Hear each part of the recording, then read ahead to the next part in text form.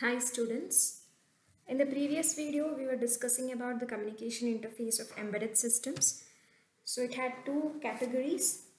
So in that uh, onboard communication interface and external communication interface. We already discussed about the onboard communication interfaces. So today in this video we'll be discussing about the external communication interfaces. So in that first example RS-232C and RS-485.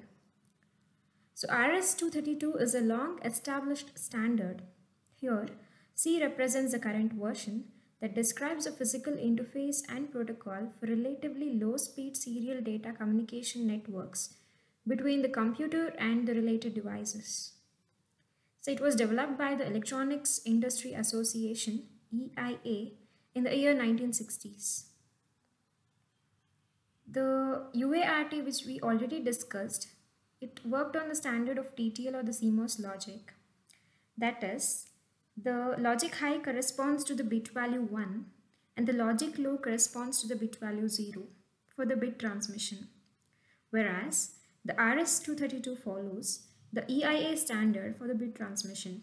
That is, uh, as per the EIA standard, that is logic 0 is represented with the voltage between plus 3 and plus 25 and logic 1 represented with the voltage between minus 3 and minus 25 volts.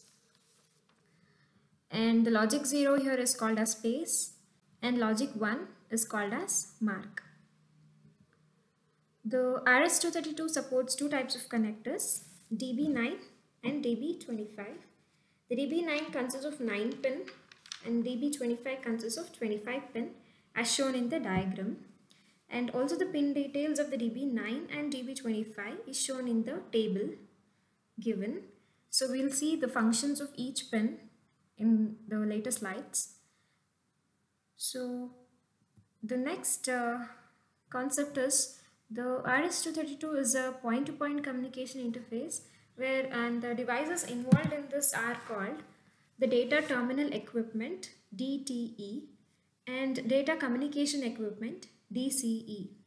So these two are very important and uh, there are different pins for the DB9 and DB25 they are described here.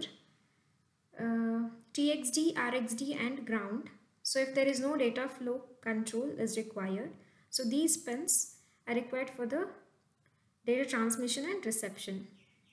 So the RXD pin of DCE should be connected to the TXD pin of DTE and it is vice versa if you want for the proper transmission to happen. The next two pins are RTS and CTS that is request to send and clear to send signals. They are responsible to coordinate the communication between the DTE and DCE. The next pin DTR data terminal ready signal is activated by DTE when it is ready to accept the data.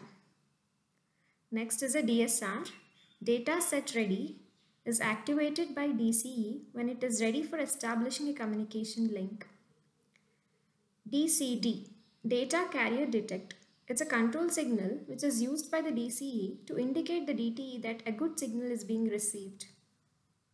The last pin is a ring indicator, RI, is a modem specific signal line for indicating an incoming call or a telephone on a telephone line. So this RS-232C supports uh, the baud rate of 20 kbps and the commonly used uh, baud rates uh, by the devices are the 300 bps, 1200 bps, 2400 and etc.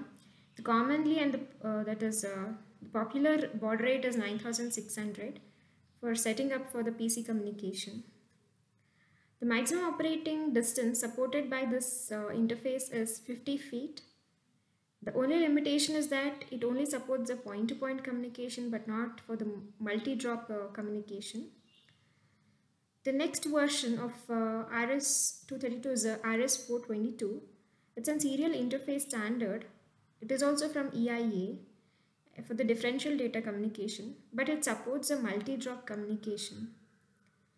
And uh, next coming to the enhanced version of RS-422, that is RS-485 so it supports the multi-drop communication as well with 32 transmitting uh, devices and 32 receiving devices whereas uh, 422 only uh, supported for up to 10 so this is about the RS232C and RS485 the next example is a universal serial bus.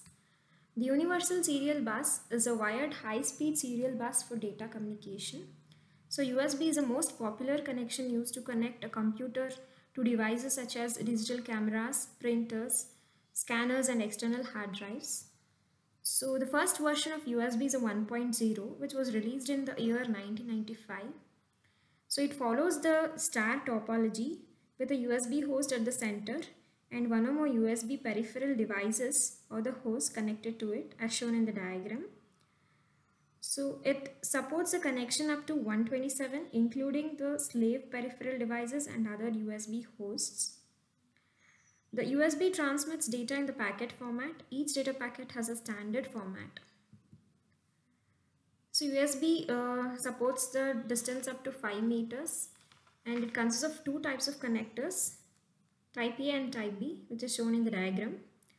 So type A is used for upstream connection and type B is used for downstream connection. Example, example for type A is that USB connector which is present in the desktop PCs or the laptops. And the, both the type A and type B connectors contain the four pins. So these four pins are shown in the table. So what are the functions of these four pins is shown in the following table here. So the next the USB supports four different types of data transfer, control transfer, bulk transfer, isochronous data transfer, interrupt transfer. So each corresponds to different functions. So control transfer is used by the USB system software to query, configure and issue commands to the USB device. Bulk transfer is used for sending the block of data to the device. For example, transferring the data to the printer. Isochronous data transfer used for real-time data communication whereas interrupt transfer used for transferring small amount of data. For the portable media players, uh, there is also a mini and micro USB connectors which are available and a standard body that is usb.org uh, which defines and controls the standard for the USB communication. So there is one more connector called Type-C connector which replaces the Type-A and Type-B uh, because of its small size and the compact uh, features and uh, this USB supports different data rates as shown here uh, that is from the low speed to the super speed plus.